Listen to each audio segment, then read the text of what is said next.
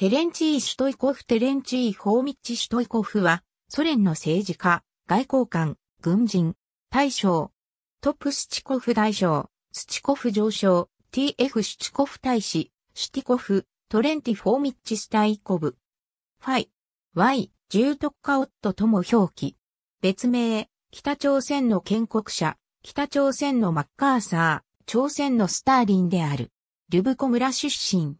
1927年、職業専門学校を卒業。1929年から共産党員。1936年から1938年、工場党委員会の副書記、書記、地区会議議長、ビボルグ地区委員会第一書記を歴任。1938年、レニングラード州委員会第二書記となり、ソフィン戦争時、第七軍軍事会議議員を兼任する。独ソ戦時、レニングラード戦線、ボルホフ戦線、カレリア戦線の軍事会議議員を歴任する。1945年4月から沿海軍集団軍事会議議員、同年8月から10月、第一極東戦線軍事会議議員。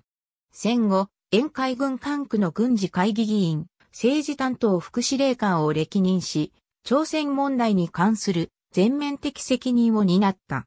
1948年から1951年、中北朝鮮ソ連非常全権大使。